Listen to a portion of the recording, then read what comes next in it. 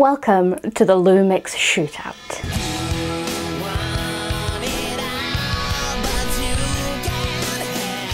The contenders.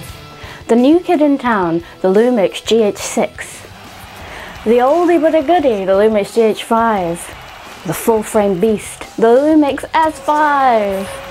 And the pocket rocket, the Lumix G100. I'll leave the last one out. So we have five grueling rounds for these cameras and it's a head-to-head -head shootout. And each round will get one point and then we'll crown a winner at the end.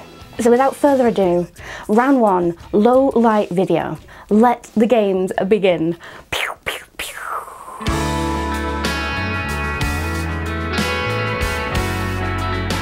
So here is a selection of ISOs over all three cameras and I'm just filtering through them now and you can see clearly that the GH6 is doing brilliantly, 12,800 ISO, whereas the GH5 is struggling with a lot of colour noise in the shadows.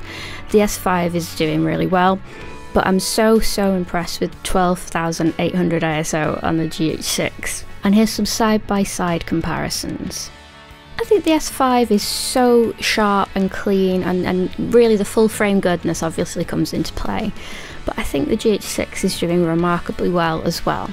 So for the low light, I'm going to give the point to the Lumix S5, but I do think the GH6 is blooming brilliant and a huge improvement over the GH5.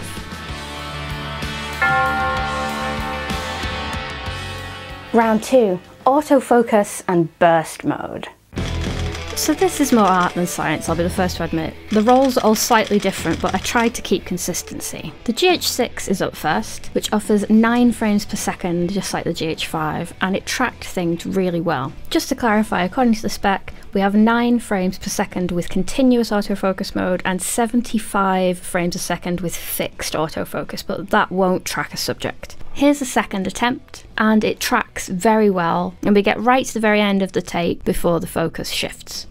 Really impressive when you consider this was indoors and pretty low light as well. Very impressive with the GH6. Let's have a look at the GH5. This one also really impressed me. I think I was expecting a lot worse given that it's slightly older, but it absolutely kicked butt. Not quite as good as the GH6 because we do have the extra processing power, but I think the GH5 did admirably. Now on to the S5. The S5 has much less impressive specs in this arena, so I don't expect it to do amazingly, and it really didn't, unfortunately. But this isn't the strength of this camera by any means, its strengths lie elsewhere. So I'm giving the points to the Lumix GH6. Round 3 Low light photography. This one's a big one, very eye opening. Let's start with ISO 2500. So the GH5, lots of colour noise at 2500. The GH6 at 2500 in exactly the same settings has done phenomenally well. And then the S5 is looking absolutely delightful at 2500. 6400. The GH5, lots of colour noise again. The GH6, super duper clear really really clear. And then the S5 with its ISO invariance you'll probably see very little difference between all of these settings to be honest. There's a little bit of colour noise but it's not too bad. And there's no sharpening or anything added. This is the GH6 at 12,800 ISO what the hell? We have tons and tons of noise on the GH5 as you would expect and that's the GH6 that's the S5 at 12,800 and that's the GH6. You can argue that the processing on the GH6 does make things look ever so slightly softer, but there is not a world of difference. There is really not a world of difference between the GH6 and the S5. So what do you think? Let me know in the comments which would you crown the winner. I'm going to have to give the S5 and the GH6 a point each, I think. Round 4, my personal favourite long exposures handheld. Let's have a shootout. So in this round of our shootout, pew, pew, pew, we're going to test out the in-body stabilization of all the cameras by doing some handheld long exposures and getting some light trails of the traffic. The first one up is the Lumix GH6 and I'm going for a one second exposure. We're starting big.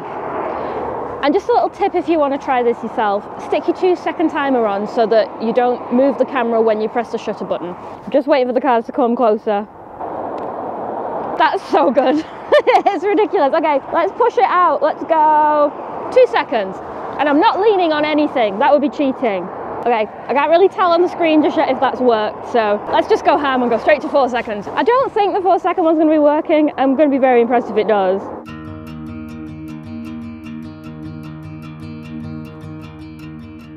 And it's super duper windy as well. I can feel myself rocking. This is the GH6, and as you can see, just not a single issue handheld at one second. This is the S5.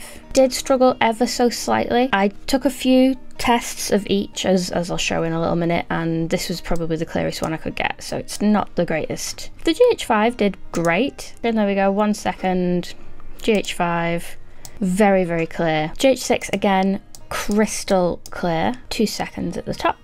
The S5 got a little bit more wobbly. And the GH5 is usable just about but if you start pixel peeping it does look a little bit soft. And then let's move on to the four second exposures. The GH6 how impressive is that? We've got a little bit of wobble on the very very edges but aside from that perfect then we've got the S5 at 4 seconds and I really tried to get this as close as possible. I took several attempts to get this and this was about as good as I could get. The GH5, that was my first attempt, I just thought I'd show you for a laugh. It was very windy. And then the GH5, the best attempt I could get is this one, so still quite blurry. And then you compare that to the GH6. Absolutely crazy. So I think in the long exposure handheld test, the GH6 has to take the point.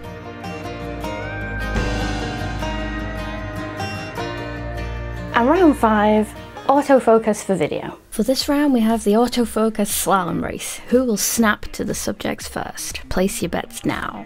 First up the GH5 with a surprisingly snappy performance. Very impressive. But then the S5 lots of rolling shutter and a little bit slower to find the subjects, especially the broccoli. Yes, the broccoli is always a challenge, Emily. But then the GH6, not a single issue. Nice and snappy and locked on. Here's the GH5 and the GH6, they are absolutely neck and neck.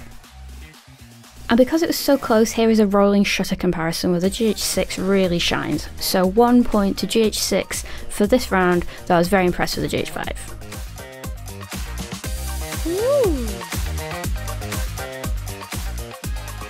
So it's time to crown the winner. With a landslide victory, the winner is the Lumix G100. I do think it's an adorable camera, honestly. So in truth, I guess it's neck and neck between the Lumix GH6 and the S5. And it all comes down to whether you want some full framey goodness, whether you would like more compact lenses, whether you want more feature-rich video, better stabilization, or that shallow depth of field that we all know and love. Choices, choices, choices. Let me know in the comments which you think did best. To learn more about the GH6, watch this video next, you'll love it.